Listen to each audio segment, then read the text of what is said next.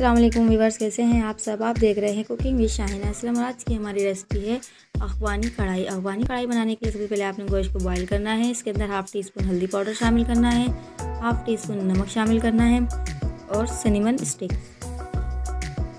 ये सब चीज़ें इसके अंदर ऐड करने के बाद आपने इसे पंद्रह से बीस मिनट के लिए ढक के रख देना है, ताकि गोश्त जो है वो अच्छे से गल जाए। और टी स्पून आपने ऑयल ले लेना है कढ़ाई में, और एक अदद प्याज और पाँच से छः अदद हमारे पास हरी मिर्चें हैं, इसे हम इसके अंदर फ्राई कर लेंगे थोड़ा सा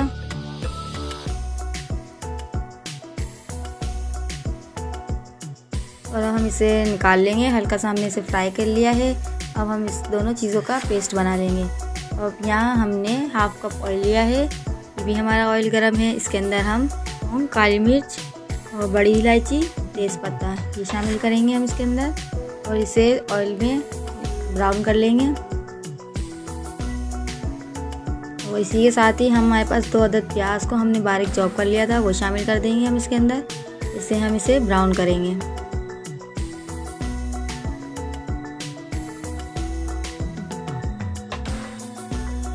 ये देखें, प्याज जो है वो ब्राउन हो गई है हल्की सी। अब इसके साथ ही हम इसके अंदर बॉईल किया हुआ गोश्त शामिल कर देंगे।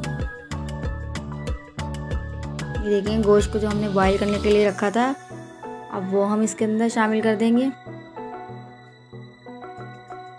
और इसी के साथ ही हम इसे ब्राउन करेंगे।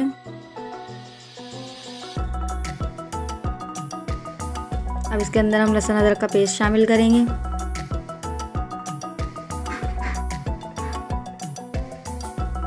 हम मिक्स करेंगे इन्हें अच्छी तरह से।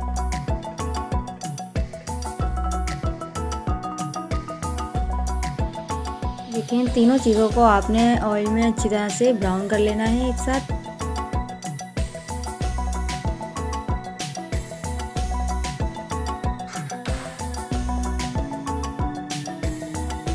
इसके अंदर हम स्पाइसी शामिल करेंगे। हाफ़ टी स्पून हम इसमें हल्दी पाउडर शामिल करेंगे और वन टीस्पून हमारे पास सफ़ेद मिर्चें दखनी मिर्च, वो शामिल करेंगे। जीरे का पाउडर है half teaspoon one teaspoon हमारे पास धनिया पाउडर है।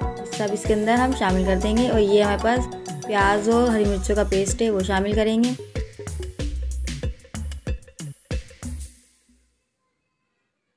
और ये यखनी है हमारे पास गोश्त की।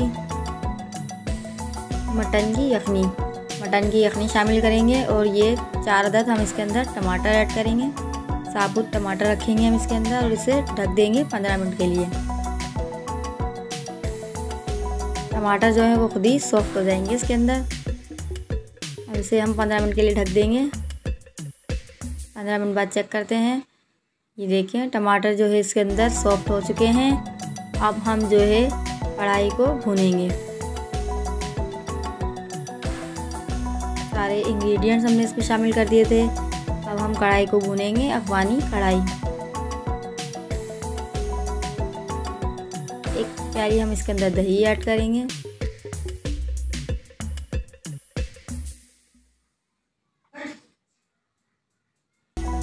और अब अच्छी तरह से हम इसे भूनेंगे।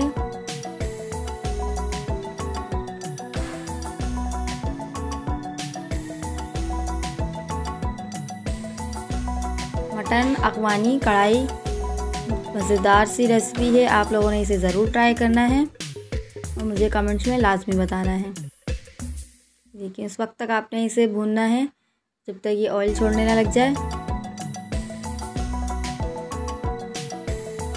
देखिए ऑयल भी इसमें से अलग हो चुका है।